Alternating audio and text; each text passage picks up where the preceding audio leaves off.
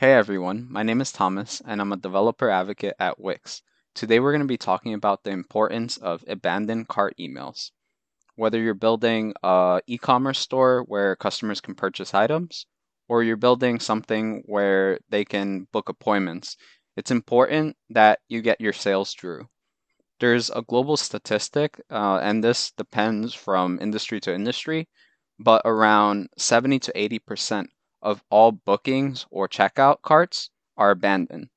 So abandoned cart emails serve as a way to allow your customers to see that they haven't finished their purchase and give them another chance to actually make the decision to finish their purchase. What we're going to be going over today is an example of building an abandoned cart email using the Wix Bookings API. Right here on my screen right now, we have something called uh, the Pop Show. And the Pop Show is a website uh, for an audio podcast. If we hit the button over here that says Watch Live, you can see that we have a booking system set up using Wix Bookings that allows people to watch the upcoming show live. We want to make sure that we have an audience to actually watch the show live and get reactions. So what we're going to be doing is using the Wix, Wix Bookings API in order to make sure that they get a notification if they haven't finished their checkout. So let's head over to the Velo reference. And on here, you can see a series of functions that we will use in order to create this functionality. If you look at Wix Bookings backend, you can see that there's four main sections to this API. In this case, we're going to be using the booking subcategory. Within this booking subcategory, there's a function called query bookings. What this is going to allow us to do is to get our pending checkouts and then send an email to those users to remind them that they should finish their checkout. Let's head over to the code now and see like how we can build this together. Now we're on the Wix editor. What we're going to do next is create a backend web module, and this is going to allow us to get all of the bookings and send emails to anyone who hasn't completed their pen, their checkout. So let's head over to the code and create a backend web module. So I'm going to call this pending cart. And inside of here, we're going to call um, the bookings API in order to get all checkouts that are pending. And then we're going to send an email out to those users using their contact ID. I've also built something on inside of the file jobs.config. And what this is going to do is run this function every hour. The reason that we're using one hour as the amount of time is because research also shows that this is the amount of time that makes that email the most effective, meaning users who get an email at one hour after they fail to finish their checkout have the highest chance of actually completing their checkout. So let's go back to pending cart.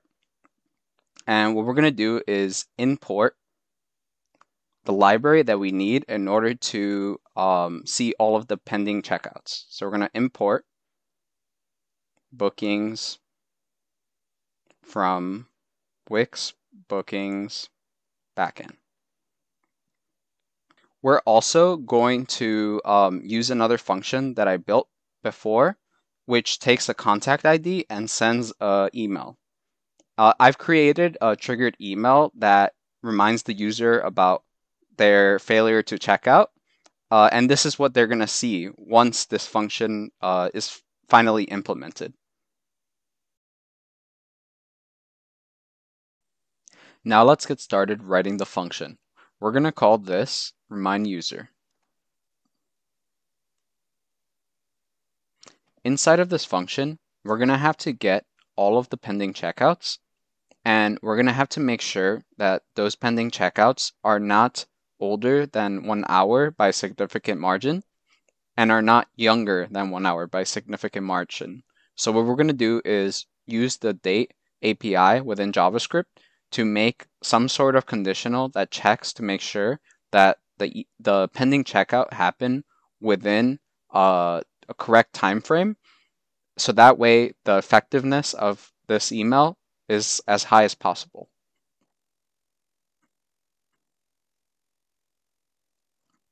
Whenever we make constants that represent time using the date API, we will represent the time using milliseconds.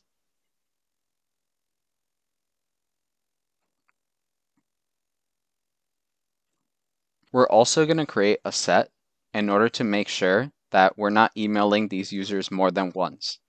This set is going to ensure that all of the contact IDs that we store are unique.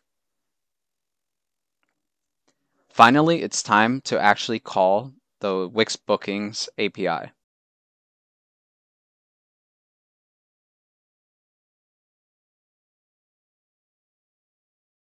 Now that we have the set of pending checkouts, what we're going to do is we're going to run through those pending checkouts and get all of the contact IDs associated to that order.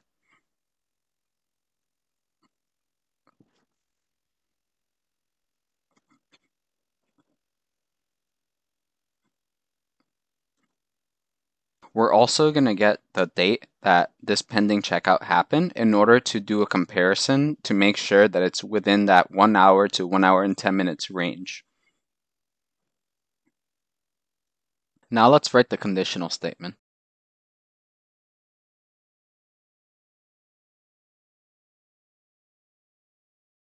Now we can collect the contact IDs in the set and then send the pending emails out.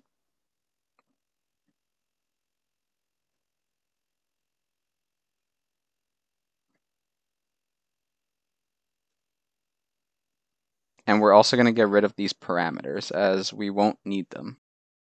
The last thing we need to do is refactor our code and make sure that the logic makes sense. In our jobs.config, we set a cron job that will run every hour. This is the minimum amount of time that we can do in order to uh, schedule jobs uh, within Velo. If we go back to our pending cart, you can see that our variable saves uh, one hour and one hour of 10 minutes of time. We're going to have to increase this range in order to make sure that every pending checkout that's done actually gets an email. So we're going to change it from uh, one hour and 10 minutes to two hours and one minute. Next, we're going to go to our conditional statement down here and make sure that we're using the time when this function runs in order to tell whether or not the pending checkout is the right age. Lastly, we're going to change some of the variables around to make this code more readable.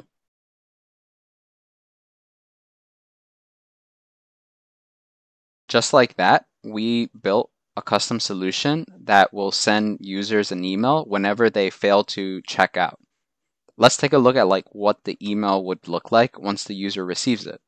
So if I started booking my ticket for the music podcast and I failed to finish my checkout, I would then receive this email. You can see that the email says, don't miss out, finish checking out to watch our upcoming podcast live. And right at the bottom, there's a button to complete checkout. As you can see, this email was built using Ascend and it was sent using triggered emails uh, within the Velo API.